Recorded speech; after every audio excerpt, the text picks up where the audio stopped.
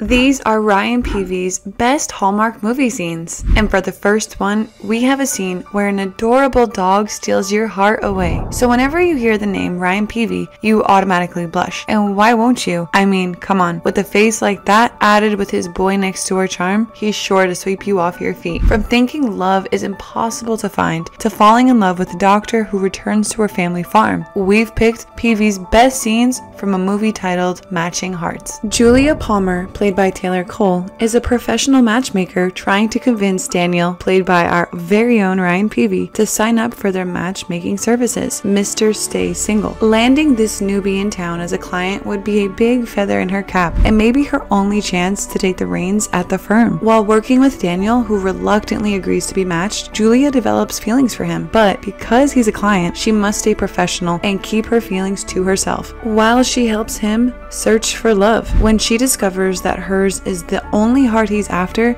she must decide if she's finally met her match. But the moment we're talking about is the big reveal, and Luna the dog gets a home. If you don't know what we're talking about, don't worry. Here's a quick recap. At the big Valentine's Day party the matchmaking company hosts every year, Daniel and Julia each admit they care for one another, and this is how their exchange went. What our score with your algorithm would be if you checked. 48%. It turns out, though, that was my profile from five years ago. I have a life I love, and I was afraid if I added someone to it, I think we were both wrong. This vulnerable exchange hits the romantic moment mark because it reveals the bond between the two is deeper than just chemistry. Julia finally reveals this. 100%. 100% wrong. No, that was our score when I retook the questionnaire. So we're scared and let's do it anyway. Oh yeah, babe. I wanna be the one you want. I wanna be the one you want. But perhaps the night's best match comes when Julia finally adopts Luna. If that made you go, "Aw," well, there are more moments like that coming your way. Like this one from Christmas at the Plaza. Well, it's the start of the Christmas season. Archivist slash historian Jessica Cooper has been hired by officious Amanda Clark of the Plaza Hotel in New York City to research and put together a display of the history of Christmas at the hotel, which opened in 1907. Jessica finds history comforting as she never had a sense of the future growing up. That's why she has no thought of what the future holds for her and her boyfriend of two years. Clinical biology PhD candidate Dennis Park, despite their plans to travel to Florida on Christmas Eve for her to meet his parents for the first time, Jessica contemplates quitting when she finds the research alone through the hotel's disorganized records could take a year in and of itself, with only three weeks to install the display. Helping her with the installation will be Nick Pirelli, who owns his own Christmas decorating business and who had been contracted by Amanda to handle all the Christmas decorations at the hotel this year. Unlike Jessica, Nick focuses in the future and doesn't dwell in the past. It isn't until she finds a hook for the display that Jessica believes she and Nick can get the display completed and installed by that three week deadline. In further research, Jessica discovers one hole that will not be tolerated by Amanda, regardless of actual true history. That hole, which, unknown, is kept as a secret by the hotel's long serving chief bellman, Reginald Brookwater. In working on this project, Jessica begins to understand the need to look to the future. She's wondering, stemming from a comment by her best friend Cassidy, if Dennis is that future or if a certain Christmas decorator is the one. But one of the best moments in this movie was when Jessica's character discovers this. I was just getting ready. Every year since 1907, the tree in the lobby of the plaza has had a different finial dabra. That's not the interesting part. Look at the picture on the table, the top one. See? No tree topper. Fascinating.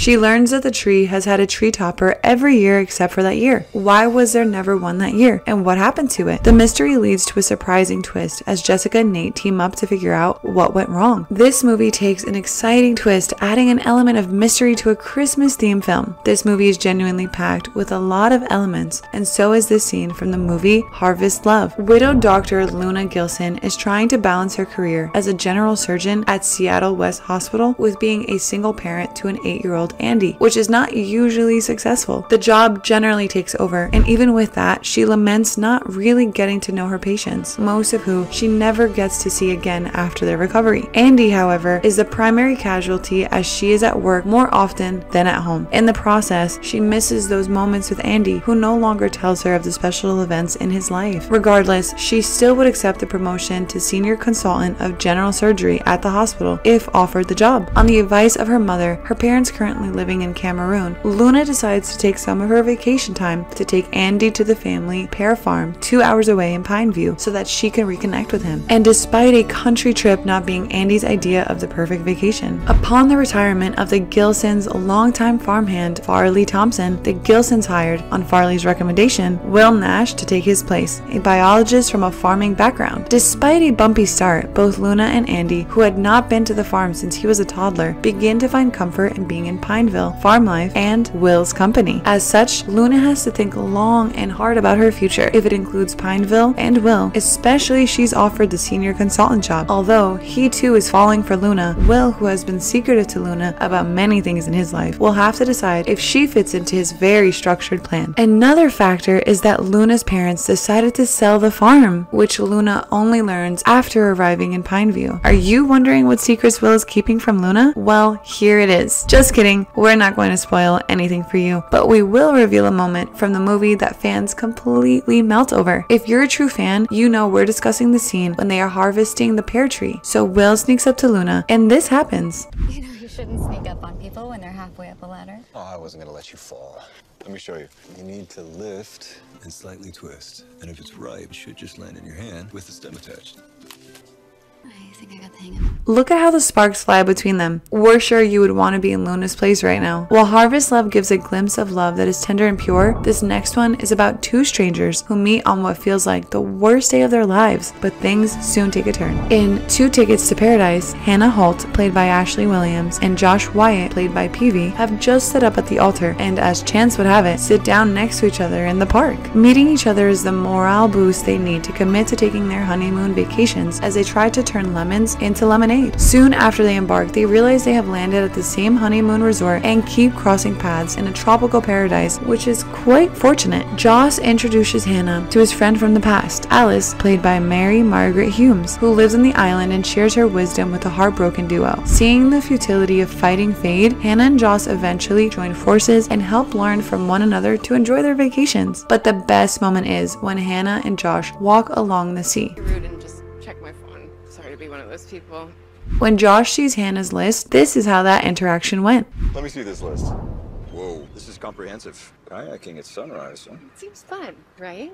And maybe go with me? What? Well, yeah, sure, why not? This trip hasn't exactly been easy. Both of our lives just got thrown a major curveball. But during their interaction, Hannah noticed something, and this is what she discovered. Are you doing that on purpose? Like, doing what on purpose? This thing with your eyes. Do you know you do that? It's the sun. How cute was that interaction? Thanks to their situation, they understand each other, and for the first time in the movie, Hannah sees Joss in a different light. While this movie was about new bonds and relationships, this next one is about dealing with issues that have been locked up in the closet for years. But before we start revealing the best scene yet, why don't you give us a like and share this video with other Ryan Paevey fans? We're sure they would appreciate your effort, and do subscribe to our channel for we've got lots more coming your way. With that done, let's go on to a movie where almost every other woman fell for Ryan Paevey's charm. In the movie Don't Go Breaking My Heart, Miranda, played by Italia Ricci, runs a successful breakup bootcamp program that helps the brokenhearted heal and move on with their lives and relationships. Journalist Ben, played by our very own Ryan Paevey, is part of her latest group, but only has morale support for his sister. At first, he scoffs at the idea of her boot camp, but Miranda is determined to get through to him. As the two spend more time together, they both have to face issues long buried, but their burgeoning relationship is threatened when Ben's secret comes to light. With a promotion on the line, Ben's boss asks him to go undercover and write an expose on Miranda and her program. But the scene that we're gushing about is when Ben and Miranda overlook the city lights. Finally, Miranda opens up about her past that she was so secretive about. Maybe she's finally beginning to trust him. And this is how their interaction went. Boot camp was my rebound. After Dex left, I threw myself into it and it worked. Yeah, but your programs help so many people let go. What's next? It's okay to just stop, Miranda. You don't have to do anything right now except be here. With me? Isn't that so adorable? It's oozing with cuteness. That's enough for us to say. Don't go breaking my heart. But wait, as usual, we save the best for last. And here we are with Unleashing Mr. Darcy. Lizzie, in this scenario, is a 30 year old DC teacher, Elizabeth Scott, played by Cindy Busby. After finding herself an example by one of the wealthy parents at her private school, she's forced to reinvent her life when she loses her job. At one of the high end dog show events, where she shows her spaniel Bliss, Lizzie meets our man Donovan Darcy, played by Ryan Paevey, of course. Proud and far as she can see, arrogant, the wealthy Donovan's life seems to be one party after another. Yet Lizzie is still intrigued by him. Lizzie's frustrations and curiosity grow when she winds up living right across the street from him, thanks to her new job. As the pair continue running into one another socially and professionally, their witty banter and arguments help ignite sparks of romance between them. So the best moment was when they met at the office when a little birdie told Elizabeth to pick up a dog at the same exact time when Mr. Darcy was coming into the office. And this is how that interaction went. I wanted to apologize about what I said the other day. You imagine I don't work to count money. It takes days to get to a million. By the time you do, you're so exhausted, you lose count. You gotta start all over again. It's grueling work. You know, sometimes you're almost charming. You sure can't get over that now, can you? But hey, did you miss the puppies in the scene? Why don't you just go ahead and watch the movie all over again? And meanwhile, we are signing off to get more amazing content for you. So, which is your favorite Ryan Paevey scene? Let us know in the comments down below. Until next time, thanks for watching, everyone.